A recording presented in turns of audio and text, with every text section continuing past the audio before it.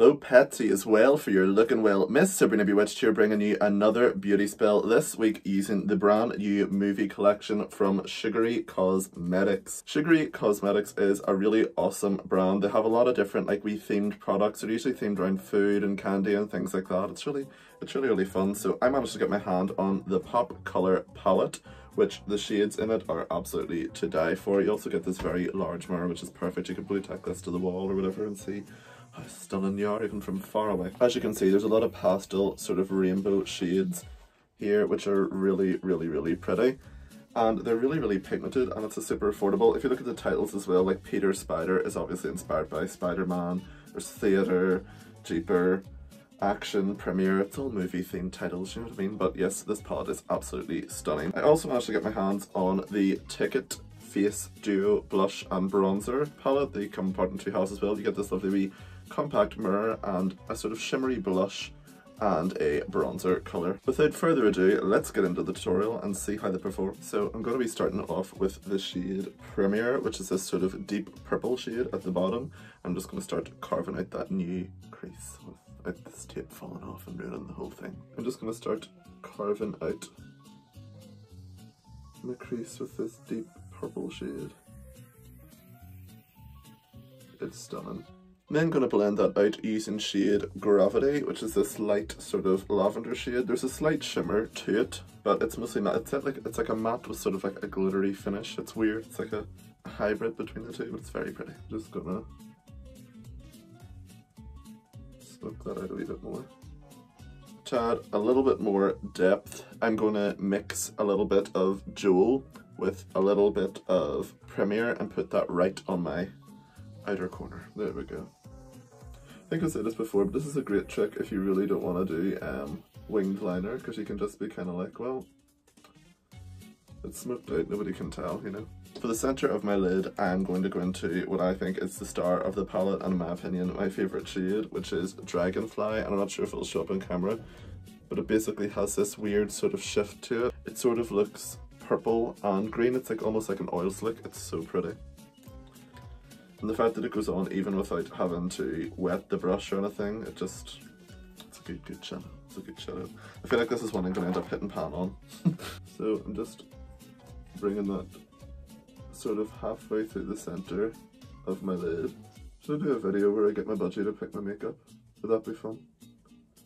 Sound off in the comments below.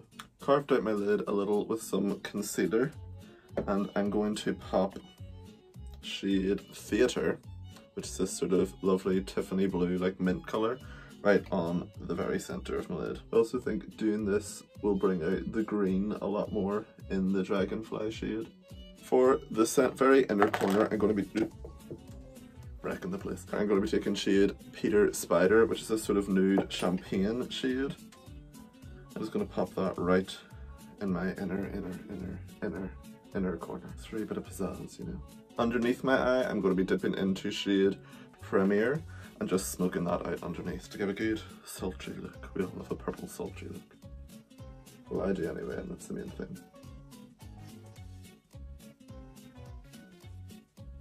I also got the Ticket Face Duo Blush and Bronzer palette, which is super cute. So open her up.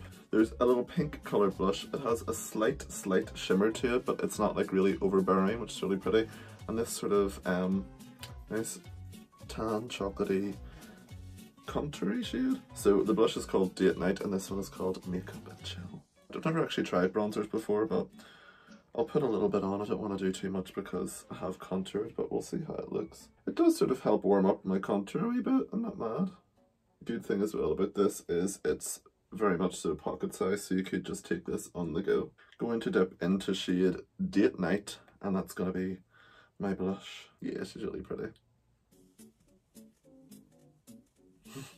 Put a little bit on my nose. You want to look like you're sick, but like cute sick, you know? Like, for my highlighter today, I'm actually going to dip into this shade Peter Spider. It's, it's a lovely champagne colour, so I think it'd be quite a pretty highlight. I also like to spray a little bit of satin spray before I put highlighter on because I just kind of find it sticks to the face a bit better. I'm not sure if you can see on camera. It's pretty. It's like a nice sort of natural shine. Right, well I'm going to go through on a costume, some lashes, and come back with my final thoughts. So pets, these are my final thoughts on the collection. I absolutely love this palette. I think the pigments came out absolutely stunning. I'm in love with this Dragonfly shade. I think I'm gonna hit pan on it pretty soon. I love the way it shifts from purple to green. I've personally never came across a shadow with like a really good duochrome colour like that, so it's amazing. Uh, I love all the vibes. It'd be great for like rainbow looks. It's perfect for Pride season. It's almost Pride in Belfast, so I'm all biz.